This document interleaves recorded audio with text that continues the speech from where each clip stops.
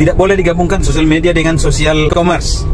Saya sih sebenarnya nggak setuju ya, karena memang perkembangan teknologi itu semestinya harus mempermudah kita ya. Jadi kita teredukasi dengan produknya lalu langsung kita bisa belanja itu kan lebih gampang gitu. Dan saya pikir yang perlu diatur itu uh, barangnya siapa yang jualan di sana ya, yang terdaftar di situ jangan sampai produsen langsung dari luar negeri menjadi uh, seller di social e-commerce yang ada di negara kita. Itu yang repot dan tidak diatur importirnya. Coba perhatikan nanti kalau Facebook kan juga punya Facebook Marketplace, Instagram Shopping gitu ya. Tapi yang di sana siapa yang uh, jualan? Ya siapa yang bisnis di situ?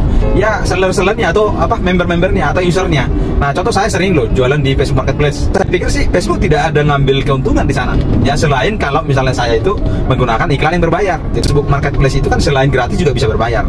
Nah Facebook sendiri hanya mengambil keuntungan dari uh, iklannya. Mereka tidak ada jualan di sana setahu saya. Begitu juga mungkin dengan Instagram Shopping ya iklan yang mereka uh, target di sana bukan mereka jualan.